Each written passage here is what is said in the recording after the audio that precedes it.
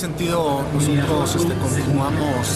en espera, así comentarles que es, hablando en términos deportivos, esto está en cancha de la federación.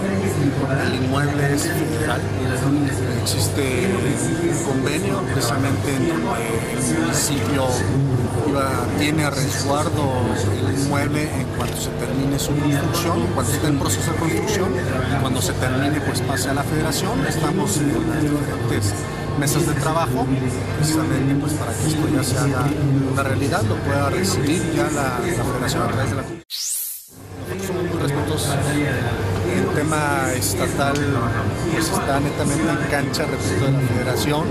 Eh, ellos están analizando ya cuándo se pueden hacer cargo de interés, por supuesto, la intención ya también de, del mismo gobernador es, que se dé para adelante buscando cuál es la mejor alternativa y repito, bueno, se están analizando por parte del general de la Comisión.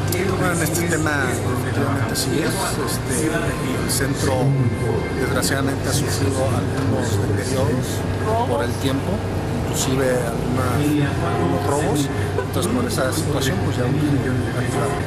Aquí lo más viable es ponerlo en marcha. Aquí es ponerlo en marcha ya, ya de una u otra manera, tanto la, operación, este, pues para ya tener inclusive eh, pues ya todos nuestros deportistas del estado de la región ya en el centro. Bueno, existe un diagnóstico tanto de la Comisión Nacional del Deporte como del Gobierno del Estado. Se requieren alrededor de 20 millones anuales para su operación.